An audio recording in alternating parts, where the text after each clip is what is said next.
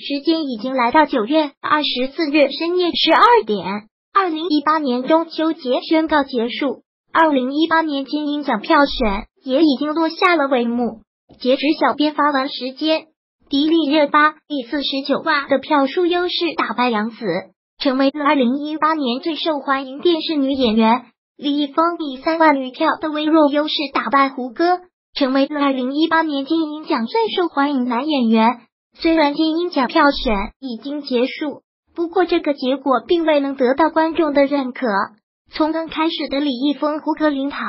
到后来的柳云龙、张译票数爆发，再到最后的李易峰一路反超。本届金鹰奖网络投票票选有许多难以解释的问题，比如张译、柳云龙两天时间暴增二十余万票房，比如胡歌九月二十日生日当天票数没有大幅度变动。下面我们就来看看本届金鹰奖票选情况。截止九月二十四日晚间十一点五十五分，李易峰以一百四十万八千五百三十六票稳居榜首，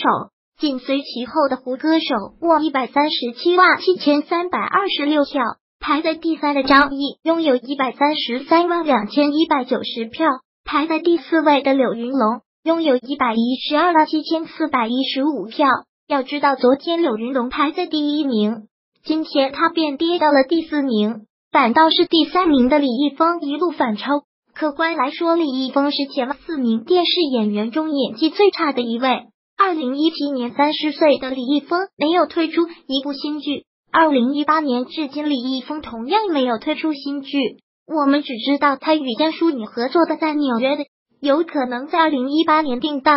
不过这也是。在十月十三日金鹰盛典之后的事情，也就是说，当金鹰奖颁布前，李易峰并没能在这两年推出一部新剧。反观排在第二名的胡歌，二零一六年胡歌凭一部《琅琊榜》收获白玉兰视帝和金鹰奖双料视帝。二零一七年胡歌携《夜场王者归来》，该剧也取得了票房冠军的佳绩。再加上九月二十日是胡歌的生日。许多粉丝都希望胡歌可以蝉联金鹰奖，